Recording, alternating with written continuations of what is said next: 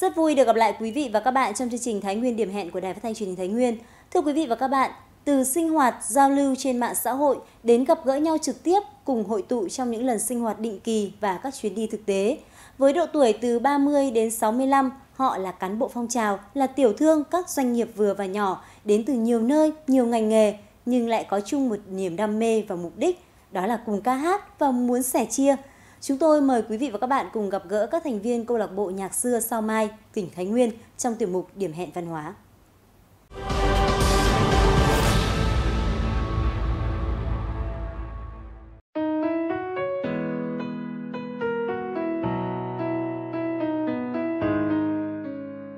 Các thành viên đến với nhau thường xuyên bằng hình thức livestream trên fanpage Nhạc xưa Sao Mai với sự hưởng ứng tham gia ủng hộ của đông đảo người yêu nhạc trong và ngoài nước. Sau một năm hoạt động, câu lạc bộ Nhạc xưa Sao Mai đã có hơn 5.000 thành viên trên khắp mọi miền của cả nước tham gia, thường xuyên online, hát trực livestream hàng ngày.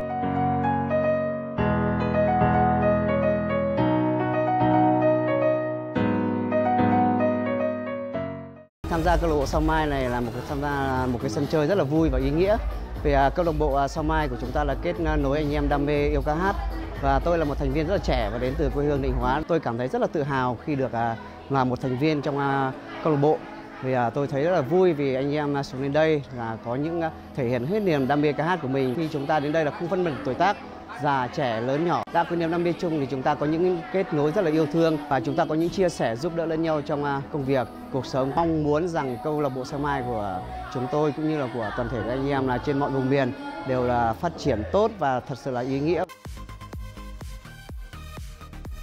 Ngoài sinh hoạt trên fanpage thì những buổi sinh hoạt định kỳ và tổ chức đêm nhạc hội hàng tháng của câu lạc bộ thường xuyên có từ 200 đến 300 thành viên tham gia.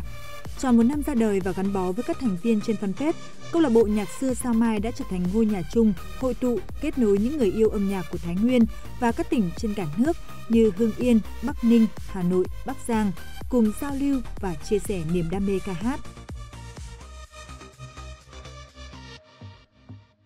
Câu lạc bộ Sao Mai là có một cái hoạt động rất là quy mô và văn minh. Vấn đề đầu tiên là như thế.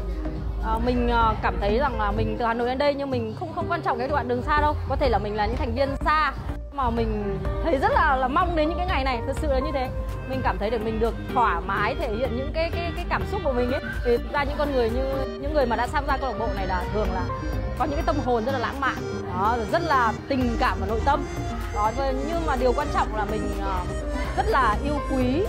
ban chủ nhiệm và tất cả các thành viên có một cái ờ, tức là tôn trọng và và rất là văn minh với nhau.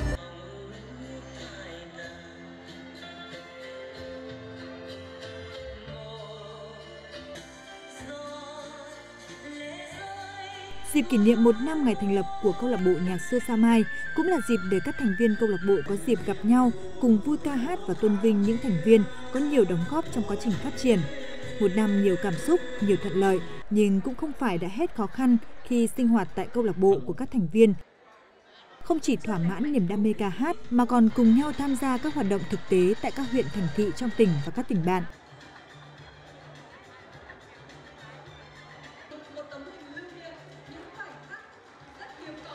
câu bộ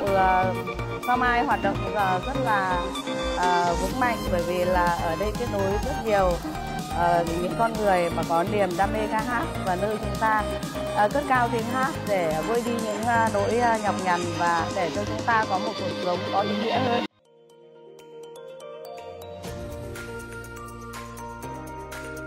Một năm trôi qua đã để lại nhiều dấu ấn kỷ niệm trong lòng các thành viên câu lạc bộ và bạn bè. Chặng đường phía trước, câu lạc bộ nhạc xưa Sao Mai sẽ tiếp tục là sân chơi ca hát cho những trái tim yêu âm nhạc, chia sẻ niềm đam mê với tình yêu âm nhạc và yêu cuộc sống của hàng nghìn thành viên.